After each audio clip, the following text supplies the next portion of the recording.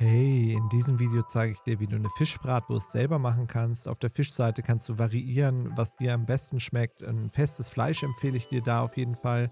Dann auf der Gewürzseite Salz, Pfeffer und ein bisschen Fenchelsamen. Die Fenchelsamen geben so einen besonderen Kick da rein.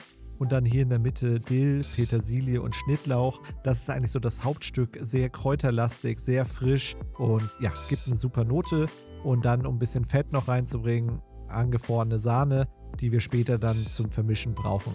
Und dann würde ich sagen, legen wir einmal los. Als erstes die Kräuter klein hacken. Da wir mit der Küchenmaschine arbeiten, könnten wir das auch lassen. Ich mag es aber lieber, wenn ich sie von Hand schneide und dann später dazugebe. Als erstes jetzt mal die Gewürze zu dem kleingeschnittenen Fisch in der Küchenmaschine. Ich habe das jetzt leider nicht filmen können, weil es einen Kartenfehler gab. Aber ja, den Fisch vorher ein bisschen klein schneiden, angefroren, dann in die Küchenmaschine und mit den Gewürzen, dem Salz anlaufen lassen. Wie man hier sieht, wird es dann zu einer ja, eher kräftigeren Masse. Und jetzt die angefrorene Sahne dazugeben und richtig schön durchmixen.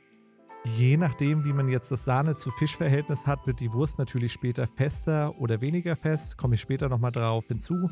Jetzt nochmal die Kräuter reingeben und kurz unterrühren lassen. Nicht zu lange, weil wir haben sie ja schon geschnitten. Ansonsten werden die mir persönlich zu fein.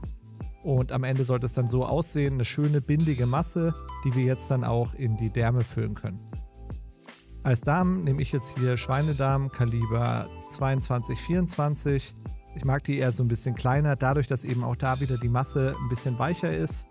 Abfüllen und dann auch in die gewünschte Länge abdrehen.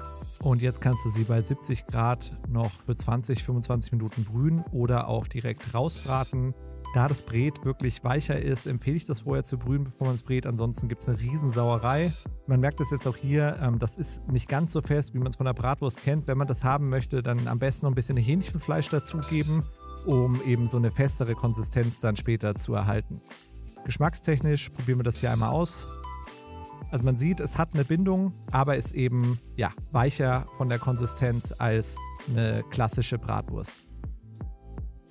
Geschmackstechnisch, ja, kommen da die Gewürze schön durch, die Kräuter. Es ist so eine richtig frische, sommerliche, ja, Fischbratwurst. Ist mal was anderes. Kann ich auf jeden Fall empfehlen zum Nachmachen. Wie immer, das komplette Rezept unten in der Videobeschreibung. Ansonsten viel Spaß mit dem Video. Wenn es dir gefallen hat, lass mir einen Daumen nach oben da, abonniere den Kanal und wir sehen uns im nächsten Video. Bis dann. Ciao, ciao.